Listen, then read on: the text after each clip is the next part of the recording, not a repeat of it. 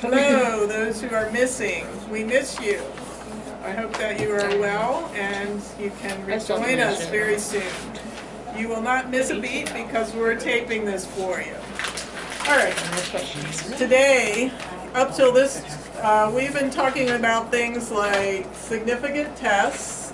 We've been talking about p-values, type 1 and type 2 errors, alpha, beta, and really all that is just theory. Did you notice there weren't a whole lot of numbers that you had to crunch out. It's just I gave you a p-value or I gave you an alpha, etc. So now is where you step up to the plate and you apply this theory with numbers. And actually it's, it's easier to do than it is uh, to just get the raw theory. So I'm going to ask you to conduct a t-test. I'm going to ask you not to ask questions until I finish. I'll leave it up on the board, and as you're copying it, you can put a little question mark, say, I'm not sure what she meant by that, then I'll come back and then we'll ask questions. So give me, give me like 10 minutes to explain it, and when I get done explaining it, then you get to ask your questions. All right, so your job right now is to watch and write. Today we're going to conduct a t-test. So it's going to have a name, one sample, t-test, I mean z-test, we'll get the t as well. One sample z-test for proportion. Remember we had earlier one sample z uh, confidence intervals for proportion. So this is one sample z-test. And we're going to apply what we know so far in this chapter. First step always is to do a RIN. You cannot do a confidence interval or a t test, a Z test without checking for RIN. RIN is usually given as random, like if they say an SRS, or if they mention the word random in the problem, then you know it's random. Independent is similar to what you've seen before. You're going to look at the sample size and multiply it by 10 and if that's bigger, if that's less than the whole population, then sometimes we make assumptions there, but usually they are a large, a large population, it usually works fine. That is only when it's an SRS, simple random sample, because it's truly not independent. If you have a simple random sample and you draw some numbers out, some values, some people, whatever, some individuals are drawn out, they are not replaced. So it's not truly independent. So we check this, and it's very close to independent when we have a simple random sample. If it's not a simple random sample, you just have to use your mind and say, well, one person uh, won't affect the next. So this is, a, you only need to do this when an SRS is drawn, which is almost every time. And now normal. Before, this is what we used to do for proportion. We said NP is greater than N, uh, 10, sorry, or, or N times 1 minus P is greater than or equal to 10. The only thing that will change is we're going to have a different value here for P, and it is P naught and a peanut. is not a peanut, it's a peanut. And where's peanut come from? So you'll recall that, like say when we started out with me in the basketball example, H sub O was P equals 0.8. Remember I, I uh, claimed that I had a 0.8 average proportion of my free throws that would go in. And alternatively, we probably thought that my proportion was a lot lower than that. P naught is this value right here, 0.8. So P naught, we'll do one, we'll actually do one. This is just giving you the skeleton uh, theory. And we'll go, we'll erase it and we'll do one. So it's changed a little bit. So was it before, it was P hat, so now it's a P naught. All right, so that is that. And now we're going to, I'll give you the formula for the one sample Z test. To do a test, we basically we need a p-value, and we compare it to alpha. So that's not going to change. So I'm training you how to get that p-value. So to do the p-value, you start looking for a to test statistic, and it's a z-score. So you're gonna find a test statistic.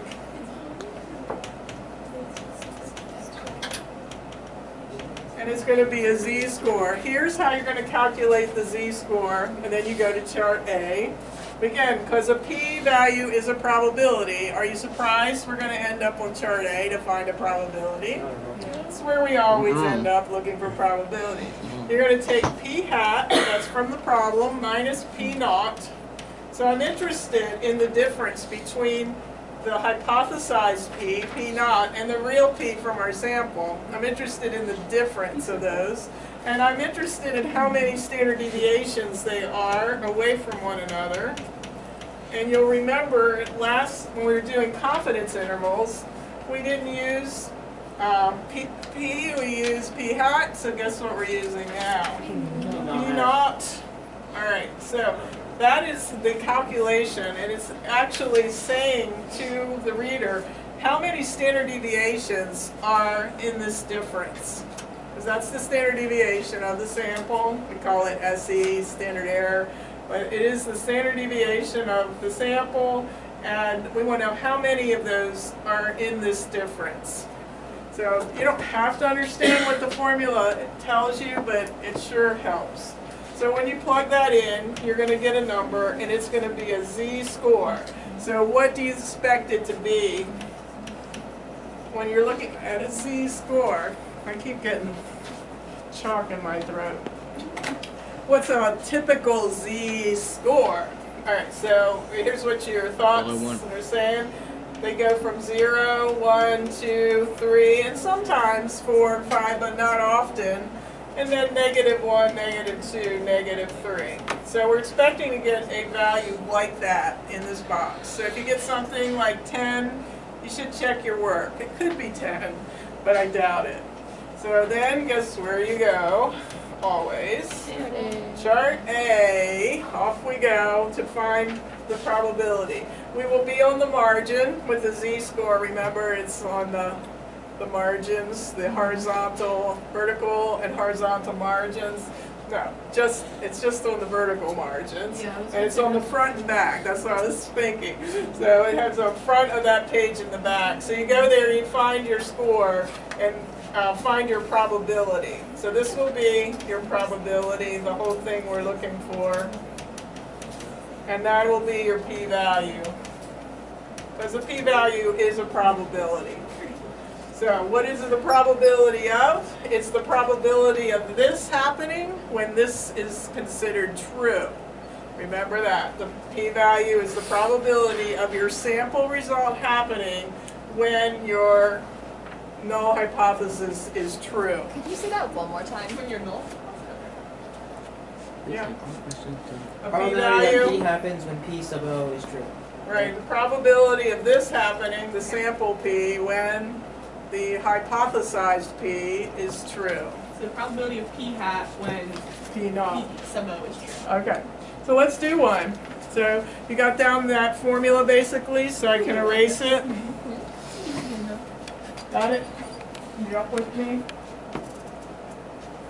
Okay, looks like you are, so we'll go ahead and do our first one, and I'll try to do, I'll probably take you all the way through one and then part way through two others, and you'll give you all the different scenarios that you could meet. One example, z-test for uh, proportion.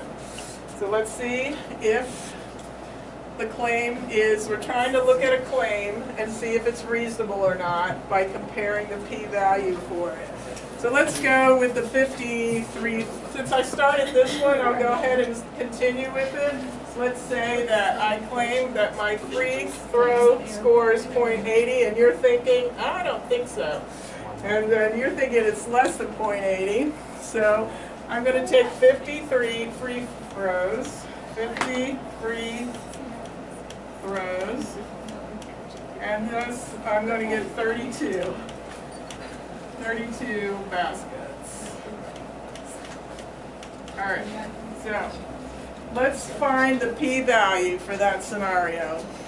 And then, once we find the p-value, we'll evaluate whether my claim is reasonable or not reasonable.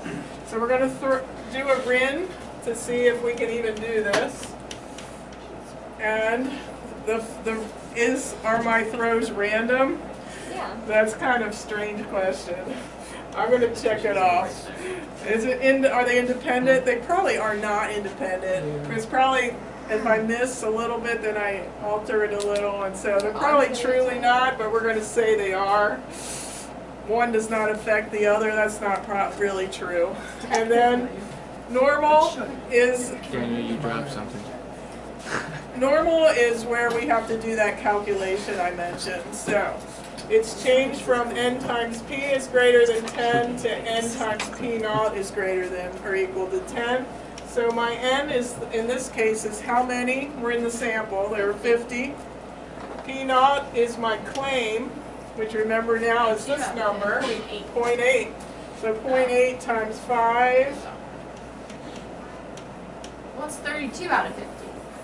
That's how many Wait, she what? got. That's P hat, but it's not in our question's moving. calculation. Yeah, it will be. So hold on to P hat, hold on to your hat. All right, They said no so bits in I didn't get that number. Does anyone give me that number? It's greater than 40. 10 Yeah. because All right, all right, and then fifty times point two, that might be close. 10. Oh boy, we just It's made greater than or it. equal All to. right, that's the lowest I've ever seen. Wait, where'd you get point two? Oh, never mind. One minus P You're never gonna. It's barely made it. It's Yeah, well, 'cause really. it's not independent and it barely made that. I know, it's a little shaky. It's not independent. Okay. Yeah, she, she she was said like- why. Like when Yeah. you miss Probably a free not. throw, like you adjust. You What- adjust. If. I So miss that's one, right. I'm saying it doesn't affect my next one, but it does, because I can adjust. So they're not really independent, but the book said assume they are, so we will. All right, now we, we find the z number. So we want p hat minus p sub o. Oh, oops, that o doesn't go up there. It's like a hat over square root p naught, one minus, go ahead ahead of me, start putting numbers in, see if you're gonna get where they go. So I'm finding the z score right now. The whole reason I need a z is so I can get a p. All right, p hat. That is from our sample. So up here I got 32 out of 50.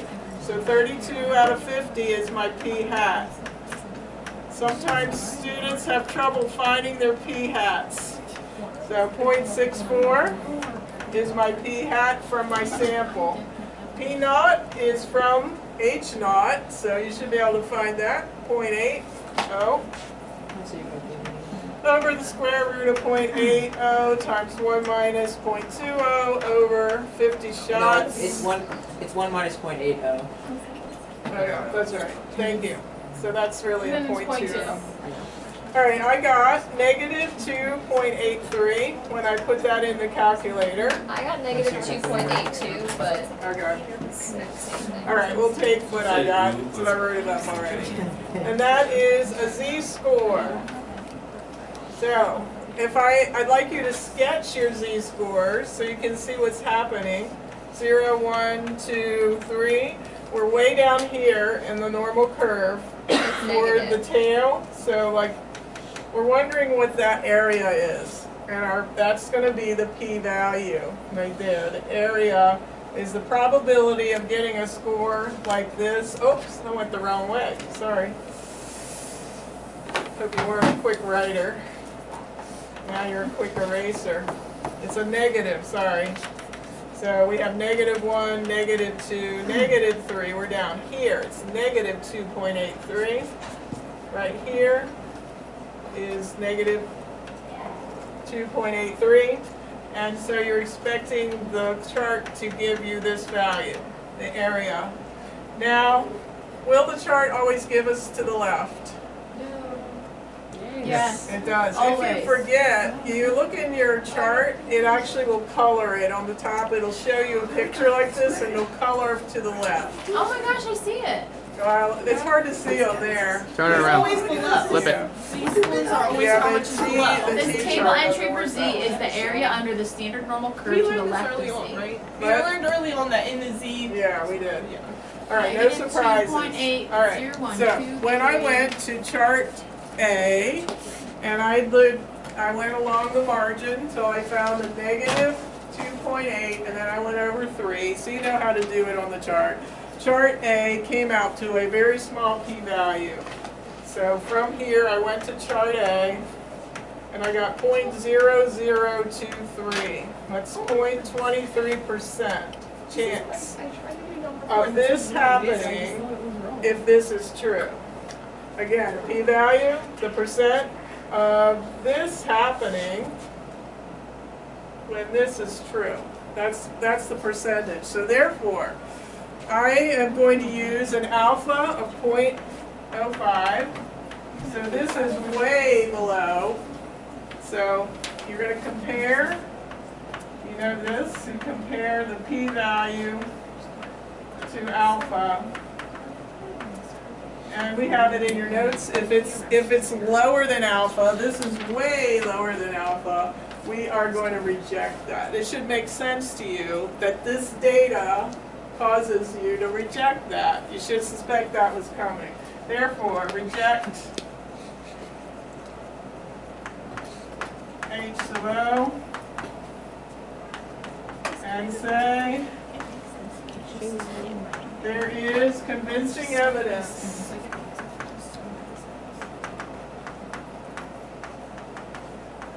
that, see if you can fill it in without speaking. What would, what am I finding convincing evidence for? I'm rejecting that. And I say, there is convincing evidence that I have a quick question. Multiple questions. the free throw average is less than 0.80. So we have, we're not accepting this, but we are saying there is evidence that supports it. That's, we- that's pretty strong. It's not quite as strong as accepting, but we reject this in favor of that. All right, that is your first one sample Z test for proportions. It caused us, it caused us to reject, yes. So, when we were using samples before, we didn't use the actual number. Remember the last problem that we did, we used, um, like point oh nine nine nine nine nine Right. because, Right, we get it. yeah. Yeah. So, why didn't we do that with this sample? We this could, that's another way you could go. I can teach you how to get that number from these numbers, but this is called a Z test, but you could do that, yes. Um, so general rule for this chapter, we want to reject Yeah, H sub O yeah. and find out the H sub A. Yeah, that's, that's usually the way we set it up Ms. in our Powell? minds. Yep, so we're trying to take evidence against H sub O. Sometimes we don't find it, but that's our goal. I'm sorry, but today has been way easier than the Yeah. past two days. so Okay. right, I, I think because you're standing on. You know the why? Because today is the last easiest day.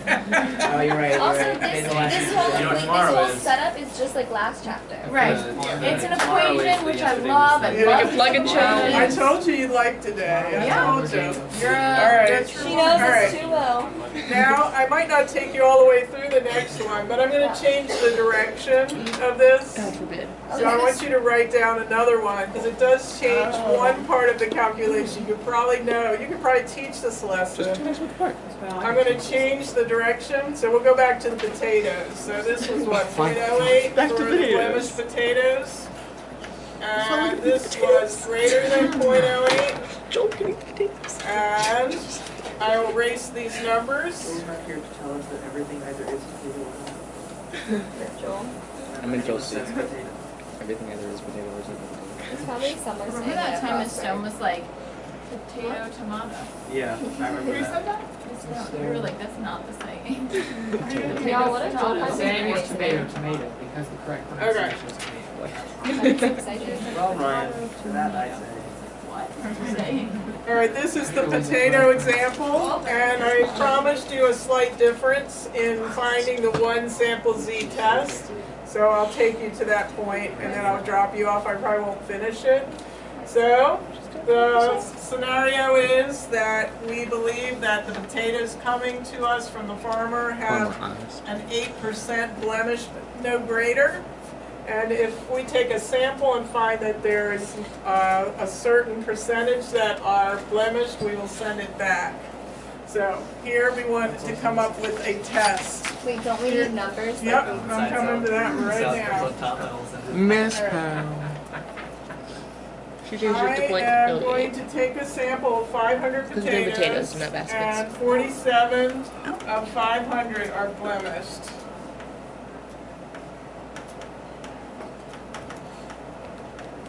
I start down my bin. I will just state that I chose those potatoes from the truck randomly, so I'll check that off. Indep- Independence, it is a sam- simple random sample. So I do have to do a calculation this time, and it is the ten percent rule. So I'm gonna take n times ten and see if it's less than the whole population. So five thousand potatoes, I'm assuming there's like thousands and thousands in my truckload. So let's say there's eight thousand potatoes. So you would have to say, assuming that there are more than five thousand in the truckload, we will continue.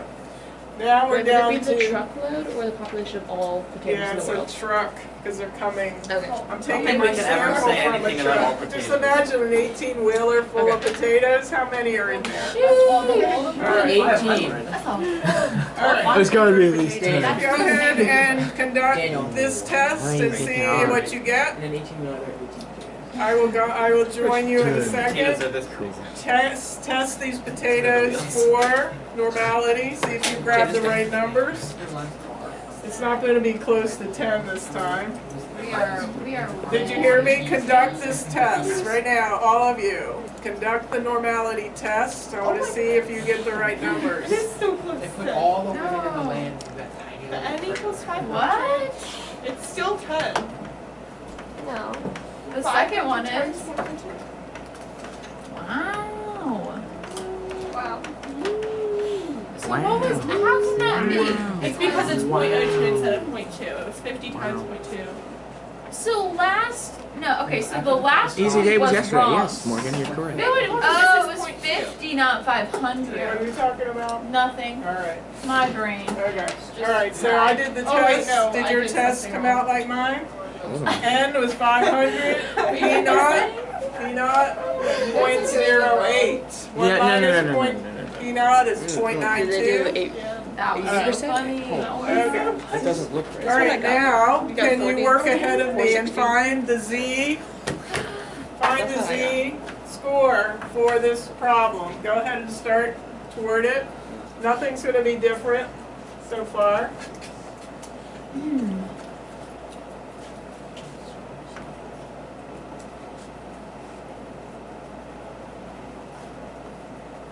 Anyone know what forty-seven out of five hundred is? Point point oh nine oh four. Point oh nine Yeah. Oh four? Miss Powell, I got the Z score. P naught Alright. is point oh eight. I got Gotcha. one point zero seven. I got 1.16. Forty-seven out of Spell? Point oh nine. She said, don't ask any questions. I didn't, I just said Miss Powell. Yeah, she said it. Alright, I didn't ask any questions, I just said Miss Powell. All right. I got one point one five, so I assume Shannon's was right. I got 1.16667. I don't know, I I got must have rounded a little different. I'll take yours. Okay. Anyone confirm hers? No. I, I can't. It takes a. One point one seven then? Yeah. All right.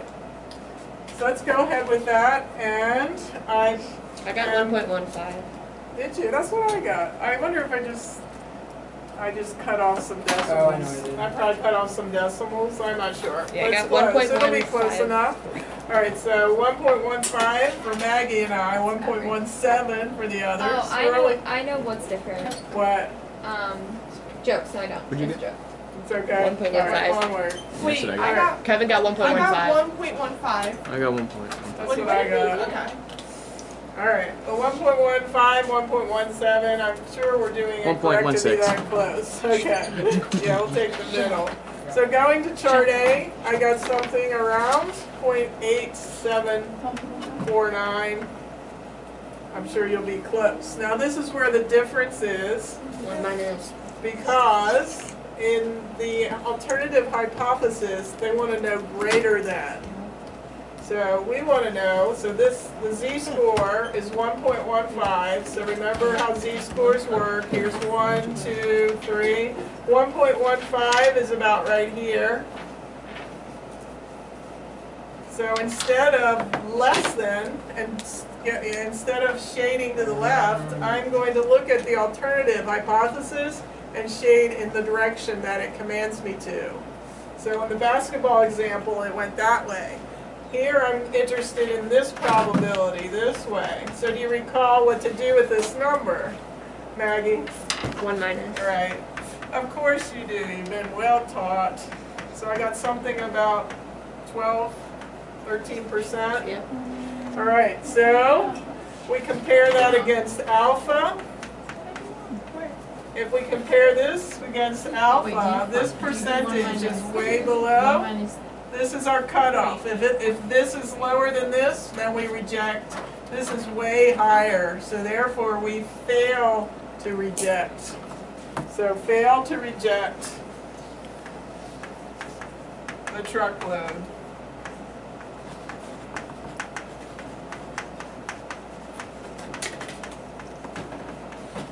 We say there's not enough evidence. There's not enough evidence to say. There is not enough evidence to say that. See if you can fill in what I'm about to say. So we fail to reject the truckload. Which is H sub O. Pardon? We failed to reject H sub O. Right. Right, which is H sub O. There is not enough evidence to say that there is more than eight percent blemished. There's not enough evidence to say that. All right, so this was the only little tweak right here, not so bad, right? So how do I know whether, whether to take it from one or not? You look at the alternative hypothesis. If it's If it's to the little, if it's less than, you keep the number. If it's greater than, you do one minus. What if it's a not equal sign? Yeah, that's Was, next. was alpha point zero five for this one? Yeah. Yeah, I'm just assuming it is for all of them. All right, now we're gonna do the one Haley pointed us to. What if it's not equal to? What do we do? So we'll do one more, and then you'll be well taught how to do z-tests for proportion. All right, here we go. I like these. Same. Nice. All right, let's say fifty percent of the high school students in America say they never tried a cigarette.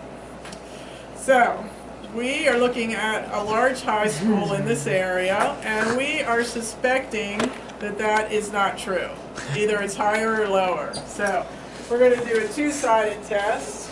So, P naught, or an H sub O equal, the the H sub O is P equals 0.5, and we are challenging it for a large high school. We're gonna go in and take a survey. We're not sure if it's higher or lower than 50%, but we don't think it's 50%. So I'm going into a high school and I'm taking an SRS, um, 150 students, that's my end, and 90 said they never tried. Never tried those cigarettes. So, we're gonna go in alpha, we're gonna conduct a test against the alpha significance level of 0.05 again. Alpha of 0.05. That's the normal one that we use, as indicated by drawing cards from the deck. All right, let's do a RIN. Is it random? It is. There's the R for random. Is it independent? We have to do a Yeah. calculation. So we have one fifty times hundred, I mean, times ten is, is, or- and I guess that's lower than a large high school number. Not that many. Well, there's what, 3,000 There, there, that's larger. Something like that? Uh, Ten times one fifty is fifteen hundred, not fifteen thousand. And checking normality, go ahead in front of me. Looking down at your paper, check normality.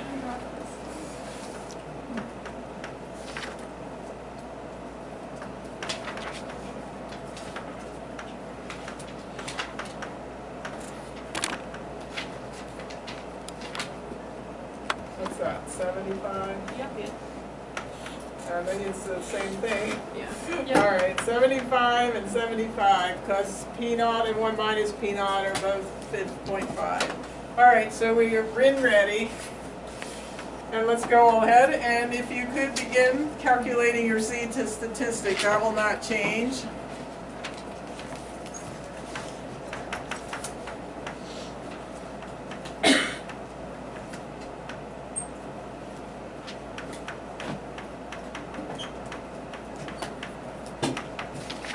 All so I need a P hat, I go up to my proportion, it was ninety out of one fifty. Point six. Point six, thank you. And my P naught, point five.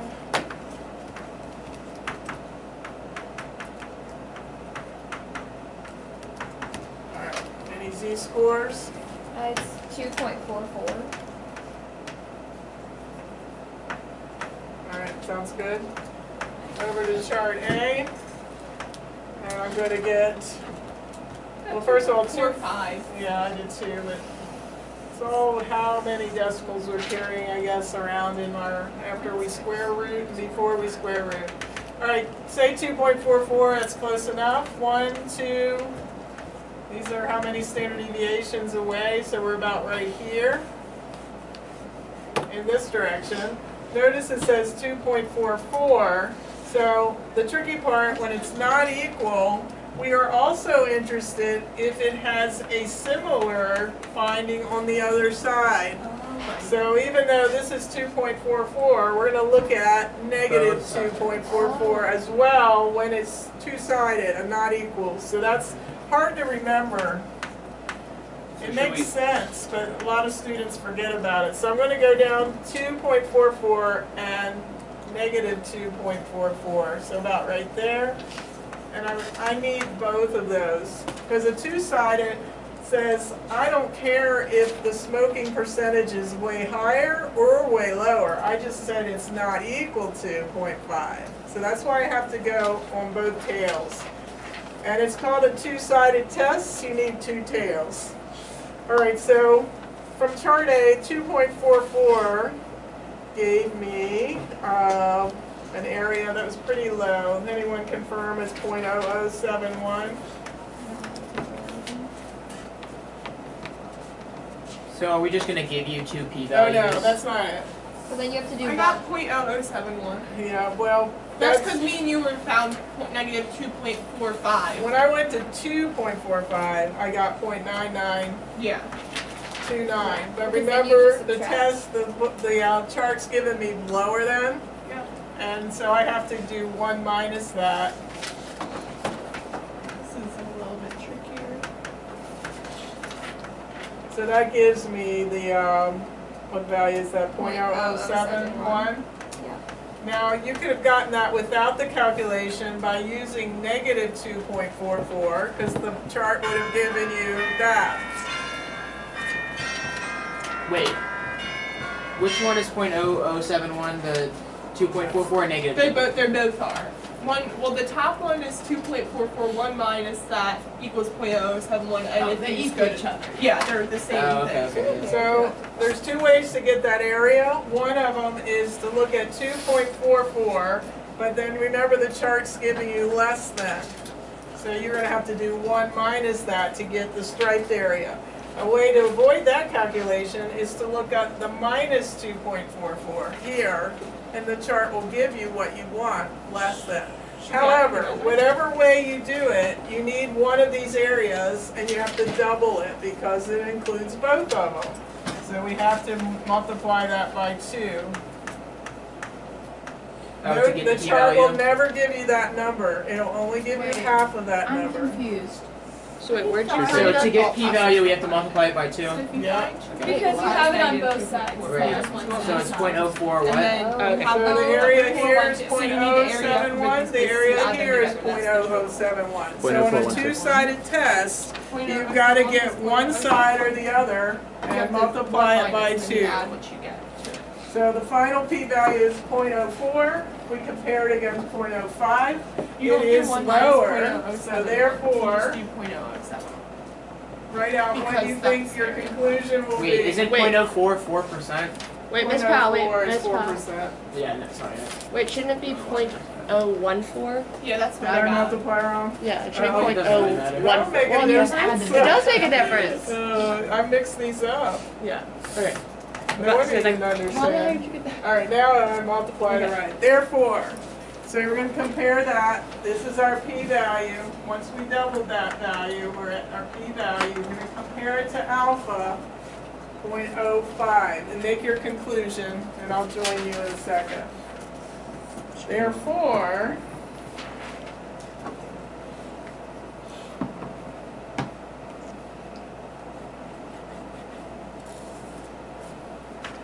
reject. Did you reject? And say, I got it, Miss Bell. That's it. there is Reject the queen. Yeah, reject H of L. Then say there is enough evidence. Is the same as saying there's convincing evidence? Yeah. Yeah, there is enough evidence or there is convincing evidence. To say the school's average So fifty is percent. different from the national average.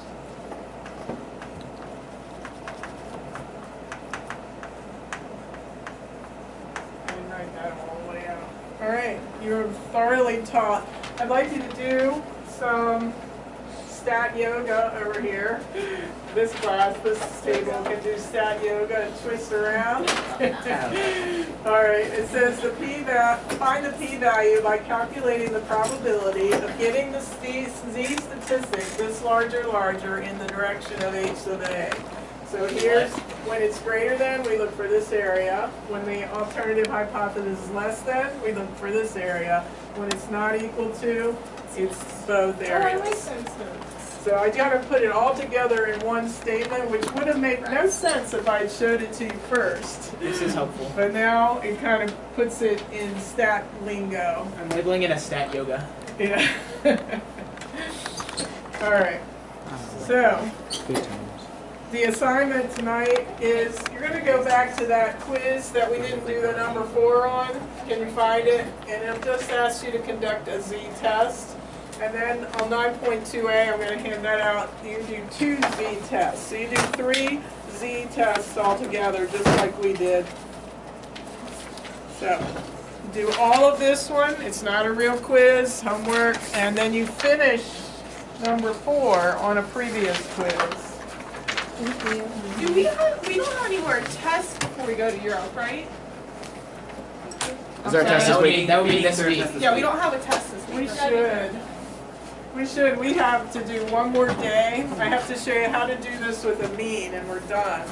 Yeah, I mean, we should because otherwise. You're gonna be we won't- because I Wow. need to get my We have breakdown. a test on Otherwise, I need to, Thursday. I need to. Otherwise, we won't have this Thursday. until after Friday. I need to bring it up. I, It'll I be won't like- have time to like study at all this week. We, How about take so home? I'm not gonna be able to do this. Y'all can We do that have Europe. There's no way we can wait. Right. Dude, Think you're gonna go to Europe and you're gonna come back to, in, like, relearn this Two weeks and you're gonna just forget There's everything. no way we would remember. It's gonna like summer. You come back to school and you just there done really for a good while. that stats. we I think can right now. Yeah. Yeah. Shouldn't You take can away from right now this and wait for the rest of the class for a week, and when they get their review. Let's, you said there's a test on Thursday? Yeah. All right, let's test on Friday. How about